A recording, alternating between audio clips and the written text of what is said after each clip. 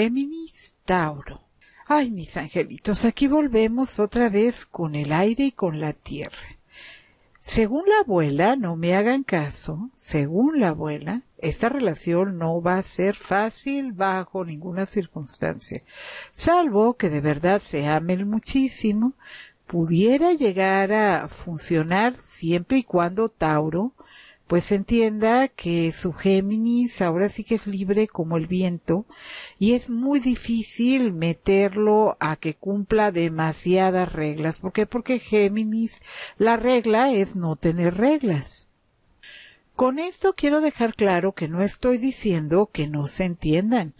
Géminis y Tauro, por supuesto que se admiran, por supuesto que pueden llegar a tener pues una amistad bastante larga. A Géminis Tauro le agrada, también le agrada Capricornio y le agradan los Virgos, pero no están muy dispuestos a convertirse en la marioneta de nadie.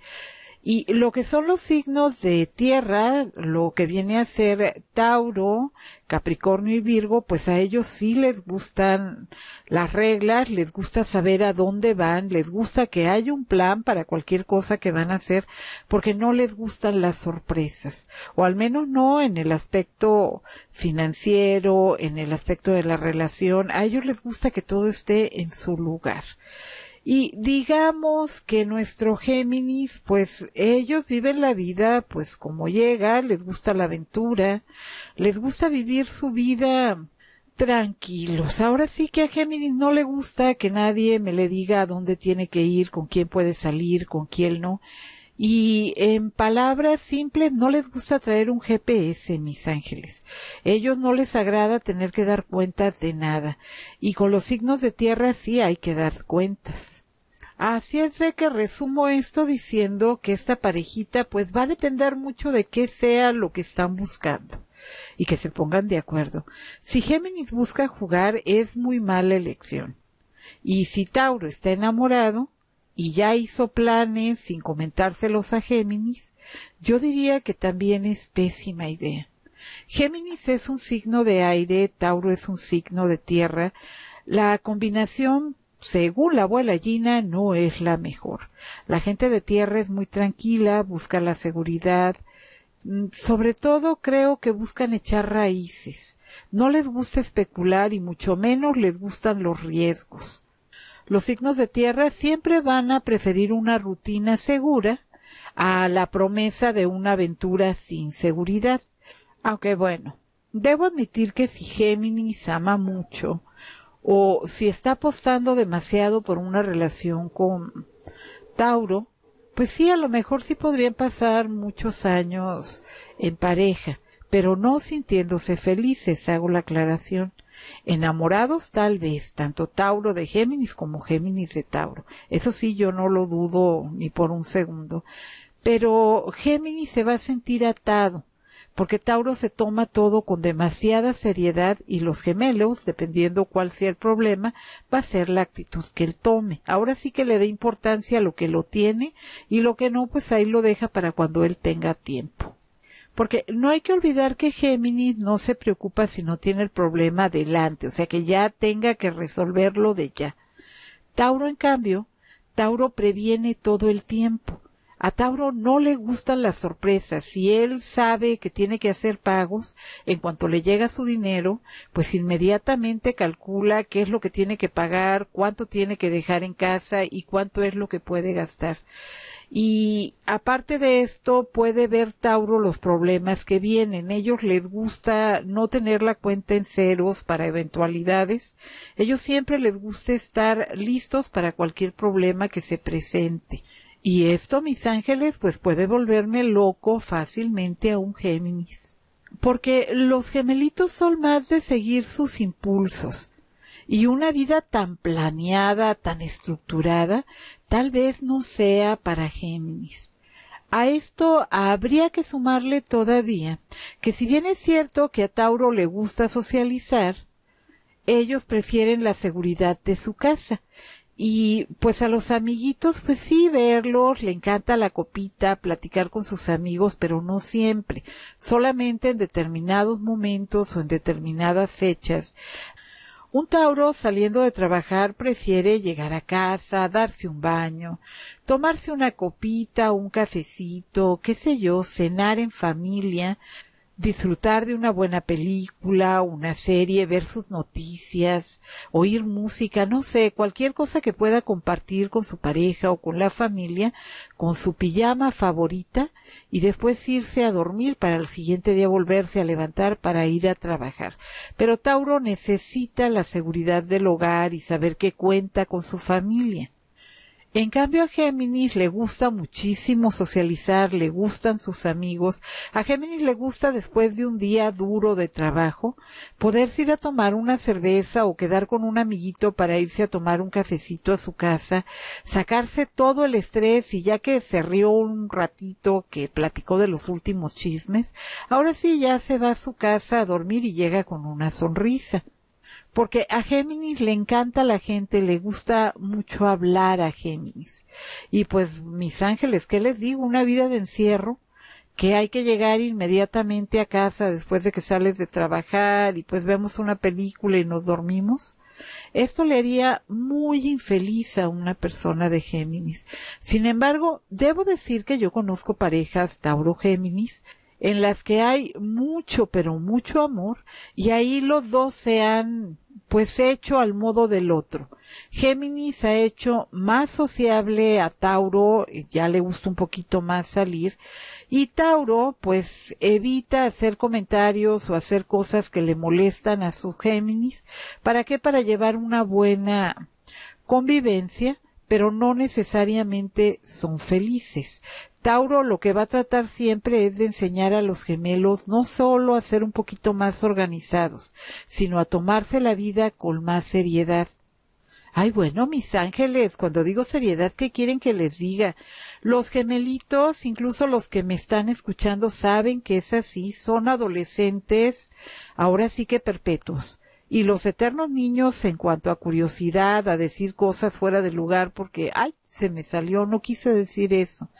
Ellos son así, no hay manera de cambiarlos, son como son. Y como ya lo comenté en otro video, a Géminis le encanta ser como es, no se quieren cambiar nada.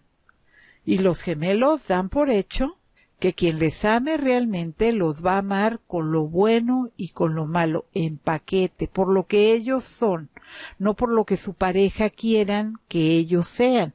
Es decir, mis ángeles Géminis no se va a convertir en algo que no es solamente por tener una pareja. Y esto podría volver loco a un Tauro.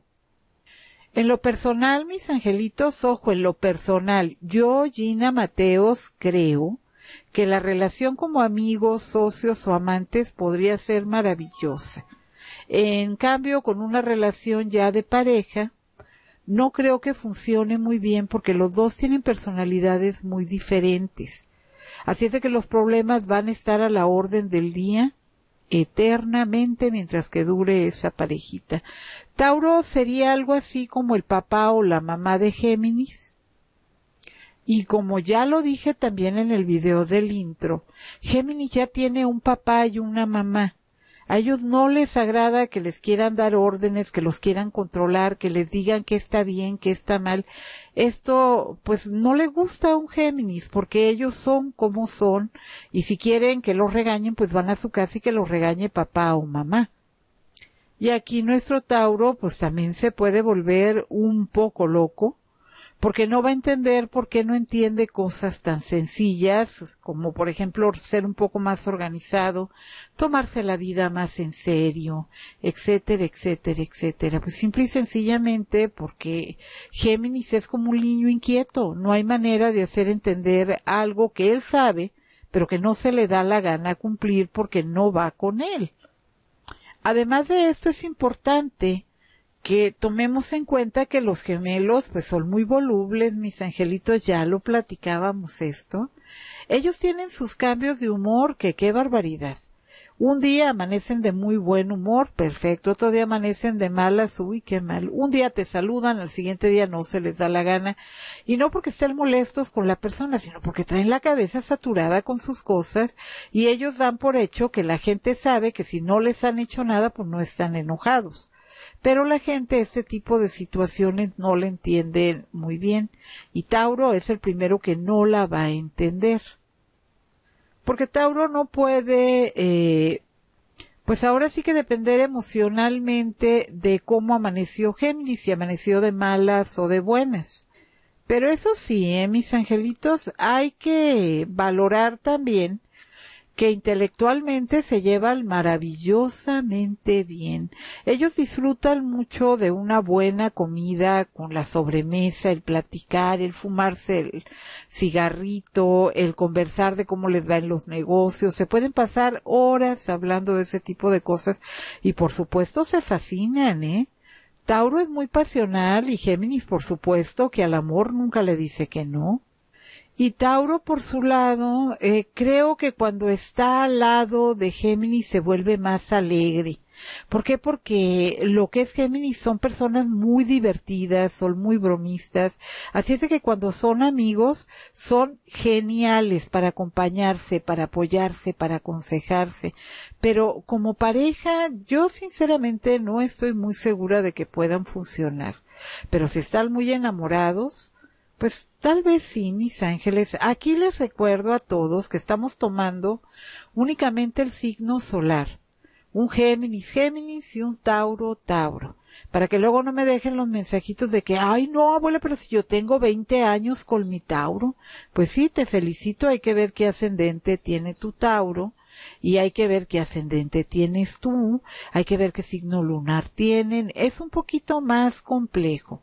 Ahora sí, mis ángeles, que como les estoy diciendo a todos los signos, una cosa es nuestra personalidad con la que nacemos, de acuerdo al mapita que había en el cielo en el momento que llegamos a este mundo, que para eso es para lo que sirve la astrología, para recordarnos quiénes éramos y quiénes seguimos siendo, abajo de ese montón de capas de piel que se nos han hecho, ¿Por qué se nos hacen estas capas? Porque somos seres humanos que cuando llegamos al mundo podemos tener nuestra manera de ser, pero de acuerdo a lo que nos pase nuestra vida es como vamos a ir blindándonos o no sé, haciéndonos más confiados, dependiendo de qué sea de lo que se nos llenó, de odio, de desamor, de confianza, de desconfianza, etcétera, etcétera, etcétera.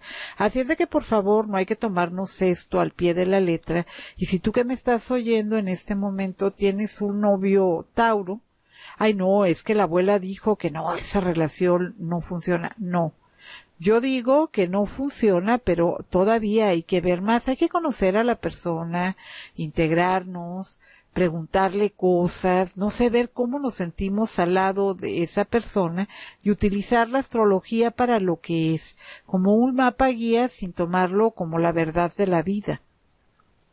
Yo en lo personal aconsejo más que una persona de Géminis y una de Tauro se conviertan en los mejores amigos porque la amistad entre estos dos puede ser muy divertida, puede ser emocionante y creo yo que los dos podrían aprender mucho el uno del otro y a Tauro le va a resultar de verdad, mis angelitos, muy divertido el desesperado niño travieso de Géminis.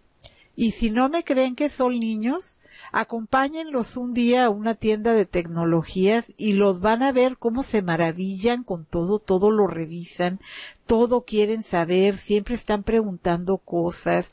Son personas que son de verdad súper alegres y por supuesto una personalidad como la de Géminis, pues es una persona que podría inundar a Taura como una cascada de luz, mis ángeles. Me les alumbra totalmente el día y la vida. Y es justamente esto lo que hace que muchas veces se enamoren. El problema viene cuando las cosas se ponen serias, cuando ya están dentro de una relación. ¿Por qué? Porque Tauro va a intentar controlar a nuestros gemelitos y pues no hay que olvidar que Géminis es un espíritu libre que odia que le aten, que odia que le digan qué hacer. Tauro quiere a sus parejas solo para él porque pues para eso se casó, para tener una pareja en casa, ya sean hombres o mujeres, da igual, pero sus parejas son de ellos. Pero cuando eligen un Géminis, mis ángeles, no, pues nada que ver, mis angelitos, hasta creen. Es sencillamente imposible ponerle la correa y el cascabel a un Géminis, porque Géminis, mis ángeles, saluda a todo el mundo, le sonríe a todo el mundo, y esto Tauro se lo puede tomar como que anda coqueteando de pillín por ahí su Géminis y madre mía, qué pleitos acalorados pueden llegar a tener este parecito. Pero bueno, entonces miren mis angelitos, si se aman mucho, pues intenten una relación. Pero ya saben, primero conocen a la persona y confirman que tanto yo tengo razón o no. Nada de que es que la abuela dijo no, no, no, no, no. Ustedes vayan y conocen a la persona, salen y ustedes saquen sus propias conclusiones. Si ustedes realmente se enamoran, si sienten que aman muchísimo, hay que intentarlo. Pero si solamente se gustan y pasan momentos muy agradables, si llega el momento en el que ustedes sienten que se quieren muchísimo, pues entonces sean amigos para toda la vida, mis ángeles, o monten un negocio juntos y sean socios. Como socios funcionan maravillosamente Géminis y Tauro. Pero bueno, mis angelitos, les deseo mucha suerte con sus parejas Géminis o Tauro. Y bueno, hasta aquí me quedo con ustedes. Yo soy Gina Mateos. Estoy encantada de que se hayan quedado conmigo hasta el final de este video. Y ya se la saben. Hay que regalarle un like a la abuela si les gustó el video y si no, pues me dan su dislike. Me voy a enojar y me voy a poner muy triste, pero lo voy a entender.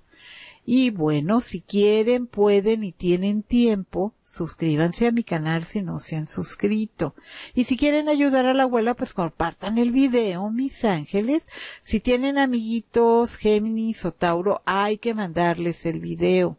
Y si salieron mal con una pareja de Tauro o de Géminis, pues también hay que mandarles el video para que vean que no fue culpa de ustedes, nada más es este destino y esas estrellitas que se empeñaron en que la relación no funcionara. Pero bueno, mis ángeles, hasta aquí me quedo. Bendiciones, cuídense mucho. Mil gracias por escucharme y nos vemos en el siguiente video con la compatibilidad de Géminis Géminis.